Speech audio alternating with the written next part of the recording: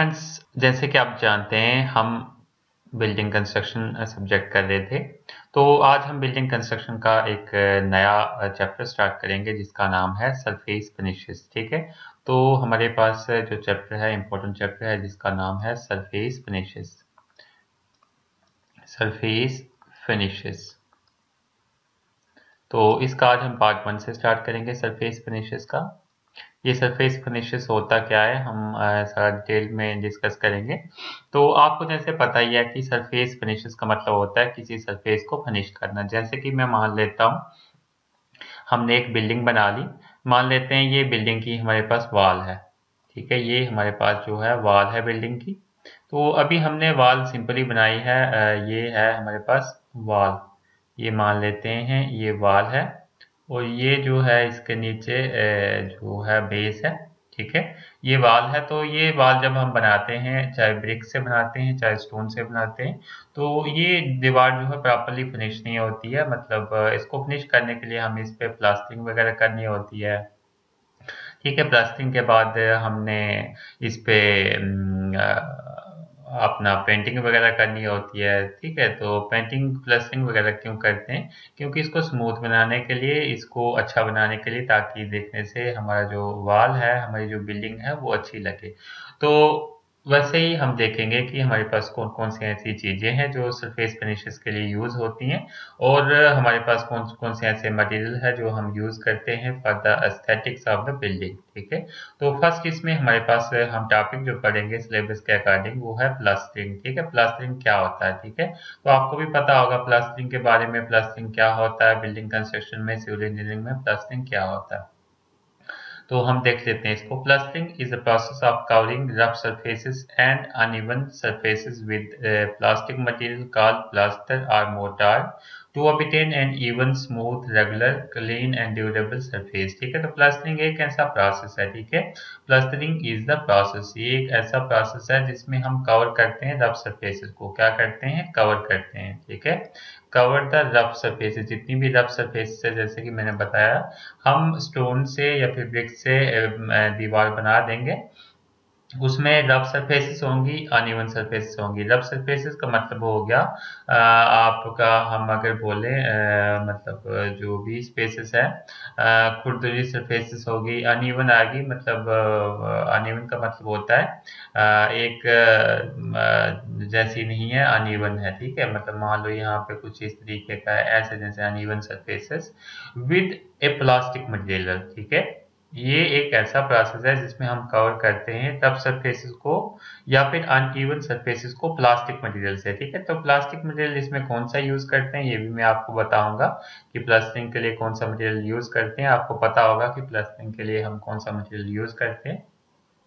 तो इसको ही हम प्लास्टर करते हैं, इसको ही हम कहते हैं प्लास्टर और mortar to obtain and even smooth regular clean and durable surface ठीक है? तो ये सारी चीज़ें इससे हमें मिल जाती है प्लास्टिंग से। क्यों हम प्लास्टिक करते हैं? हमें जो कोई भी सरफेस इवन चाहिए हो स्मूथ चाहिए हो रेगुलर चाहिए हो क्लीन एंड ड्यूरेबल चाहिए हो तो हम प्लास्टिंग का यूज़ करते हैं, ठीक है? उसके बाद हम बात करते हैं प्लास्टर की। प्लास्टर क्या होता है? ए मिक्स ऑफ़ लाइम और जिप्सम सैंड एंड वाटर ठीक है? तो प्लास्टर होता है हमारे पास एक मिक्सचर ठीक है किसका मिक्सचर होता है? हम देख लेते हैं मिक्सचर ऑफ़ लाइम और जिप्सम ठीक है? लाइम या फिर जिप्सम उसके साथ सैंड रेत होती है उसके साथ उसके साथ हमारे पास वाटर होता है मिक्स तो वो होता है हमारे पास प्लस्तर तो जो हम मोस्टली प्लस्तर यूज़ करते हैं, वो हम सीमेंट प्लस्तर यूज़ करते हैं। सीमेंट प्लस्तर में क्या होता है? यहाँ पे लाइम और जिप्सम की जगह पे क्या होगा? सीमेंट होगा। बाकी इसमें सैंड होगी एंड वाटर होगा, ठीक है? या अगर आपने लाइम यूज़ करना है या जिप्सम यूज़ करना है तो लाइम यूज़ करेंगे सैंड यूज़ करेंगे वाटर यूज़ करेंगे। या फिर जिप्सम यूज़ करेंगे सैंड यूज़ करेंगे वाटर यूज़ करेंगे। समटाइम्स विद फाइबर ऐड ठीक है? तो कुछ टाइम पे अगर हम कभी कभी इस पर फाइबर भी ऐड करते हैं फाइबर क्यों ऐड करते हैं? वो बाद की बात है, इसको स्ट्रेंथन करने के लिए हम फाइबर भी ऐड करते हैं। That hardens to a smooth solid and is used for coating walls and ceiling ठीक है? तो वॉल्स एंड सीलिंग के लिए हम उसको यूज़ कर सकते हैं फाइबर डाल के। उसके बाद हम बात करते हैं प्लस्टरिंग मटेरियल अब हमने बात की कि प्लस्तर हम करते, उसका प्रोसेस क्या है प्लस्तर का? मतलब प्लस्टरिंग होता क्या है, वो हमने देख लिया प्लस्तर के बारे में देख लिया, ठीक है? तो उसके बाद हमारे पास है मटेरियल कौन कौन से यूज़ होते हैं हमारे पास प्लस्टरिंग में। तो हम देख लेते हैं मटेरियल्स के बारे में। ऑर्डनरी पोर्टलैंड सीमेंट ठीक है? ओपीसी हम यूज़ करते हैं प्लस्टरिंग के लिए ऑर्डनरी पोर्टलैंड सीमेंट जैसमिन जो सीमेंट आप यूज़ करते हो, घर पे लाते हो, वही है। उसके बाद है लाइम आर्क ले ठीक है? लाइम आर्क ले आप यूज़ करते हो। उसके बाद आप एग्रीगेट यूज़ करते हो एग्रीगेट में आप कोर्स एग्रीगेट सॉरी इसमें कोर्स एग्रीगेट यूज़ नहीं होता, इसमें फाइन एग्रीगेट ही यूज़ होता है। वाटर उसके बाद आप वाटर यूज़ करते हो और उसके बाद एडमिक्सचर यूज़ करते हो, ठीक है? एडमिक्सचर क्या होता है? एडमिक्सचर होता है, इन मटेरियल के अलावा कोई हम एक्स्ट्रा चीज़ इसमें ऐड करें, जैसे कि हमने ऊपर फाइबर की बात की तो वही एज ए एडमिक्सचर काम करता है, क्योंकि ये मेन मटेरियल है प्लास्टरिंग के प्लास्टर के, और ये एडमिक्सचर जो है एक्स्ट्रा मटेरियल है। दैट मीन एक्स्ट्रा मटेरियल कोई ऐड करते, हम प्लास्टरिंग की प्रॉपर्टी को एनहेंस करने के लिए उसे हम एडमिक्सचर बोलते हैं।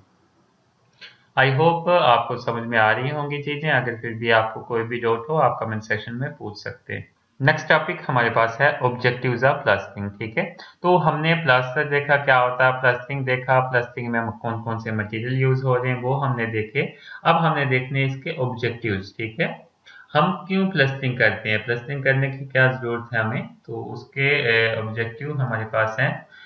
फ़र्स्ट है हमारे पास plaster provides a smooth regular clean and durable finished surface with improved appearance ठीक है?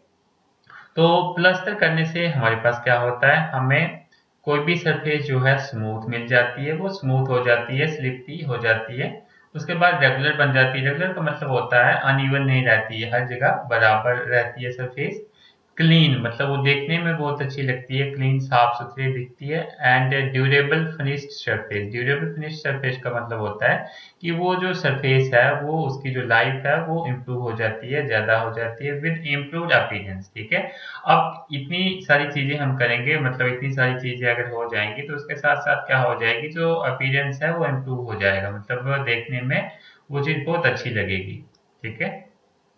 नेक्स्ट इसका ऑब्जेक्टिव है people use plaster to cover the bare stone और brick on the walls of houses both inside and outside तो people जो है जो walls पे प्लस्टरिंग यूज़ करते हैं अपने घरों में जो भी दीवार है, वहाँ पे प्लस्टरिंग यूज़ करते हैं। मतलब बोथ साइड प्लस्टरिंग करते हैं वॉल की एक साइड अंदर वाली साइड भी और बाहर वाली साइड भी। और भी काफ़ी सारे एडवांटेजेस है, हम डिस्कस करेंगे। जैसे कि मैंने आपको पहले ही बताया कि ये वॉल है तो ये बाल है तो इसको बाहर से भी प्लस्टरिंग कर देंगे, उसके बाद इसके अंदर से भी प्लस्टरिंग कर देंगे। तो आपको ये पता ही होगा।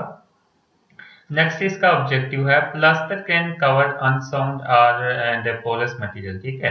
तो जैसे कि हमारे पास अनसाउंड मटेरियल होता है, जैसे कि हमने यूज़ किया है, जैसे हमने पहले कोई बिल्डिंग बनाई वॉल बनाई, उसमें कुछ ऐसा मटेरियल यूज़ किया होगा जो अनसाउंड होगा। अनसाउंड का मतलब होता है कुछ खराब मटेरियल होगा तो उसमें जब हम बाहर से प्लस्तर कर देंगे तो वो क्या हो जाएगा? कवर हो जाएगा।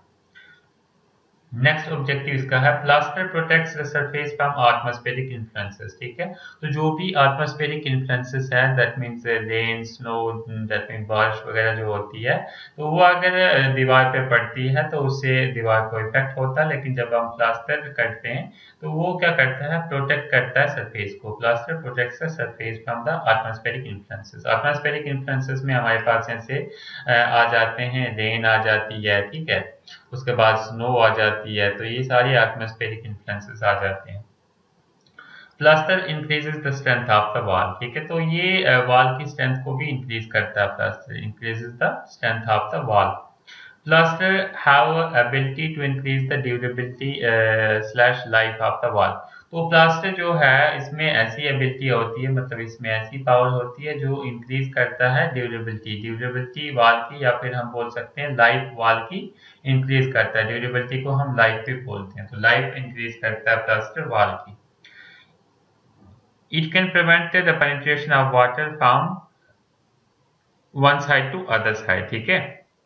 तो जो पेनिट्रेशन होती है, जैसे कोई भी चीज़ पेनिट्रेट करती है एक साइड से दूसरी साइड तो ये जो है प्रिवेंट करता है प्लास्टर जैसे कि मान लो ये वाल है ये वाल का आउटर साइड है, ठीक है, ये इनर साइड है। तो अगर आउटर साइड से मान लो रेन आ गई रेन का जो पानी है, अगर प्लास्टर किया होगा हमने तो ये रेन का जो पानी है, ये इस साइड से इस साइड नहीं जाएगा, ठीक है? इस साइड से इस साइड नहीं जाएगा, ठीक है? इट गिव्स डेकोरेटिव, ठीक है? तो ये जो है एक डेकोरेटिव हमारे पास लुक दे देता है, हमें बहुत अच्छा लुक दे देता है। Plaster provides a suitable plain surface for colour wash और पेंट ठीक है? तो एक सूटेबल हमारे पास सरफेस तैयार करता है। अगर हमने पेंट वगैरह करनी हो किसी वाल पे तो पहले हम प्लास्टर करते हैं ताकि हमें स्मूथ सरफेस मिल जाए। उसके बाद हम क्या करते हैं? कलर वॉश करते हैं। कलर वॉश या फिर पेंट हम जिसको बोलते हैं, वो हम करते हैं ताकि हमारा जो घर है वो देखने में अच्छा लगे। Plaster provides fire prevention up to certain level तो अप टू सर्टन लेवल मतलब कुछ हद तक हमें फायर प्रिवेंशन से भी ये बचाता। मान लो इसमें आग लग जाए दीवार पे तो प्लास्टर अगर किया होगा तो बहुत आ, हमें बहुत लिमिट तक हमारे पास वो फायर को प्रिवेंट करेगा ठीक है? तो ये सारे हमारे पास इसके थे। ऑब्जेक्टिव थे ब्लास्टिंग के। आई होप ये सारी चीज़ें आपको क्लियर हो गई होंगी, फिर भी आपको कोई भी डाउट हो, आप कमेंट सेक्शन में पूछ सकते हैं।